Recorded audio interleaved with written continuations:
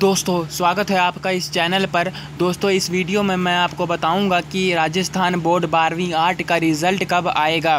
जैसा कि साइंस और का रिज़ल्ट और कॉमर्स का रिज़ल्ट आ चुका है तो मैं आपको बता दूँ कि आर्ट का रिज़ल्ट एक हफ़्ते बाद आता है तो जैसे तेईस को आया है साइंस और आर्ट साइंस और कॉमर्स का रिज़ल्ट तो आर्ट का रिज़ल्ट तीस तारीख को आ जाएगा शाम छः बजे के करीब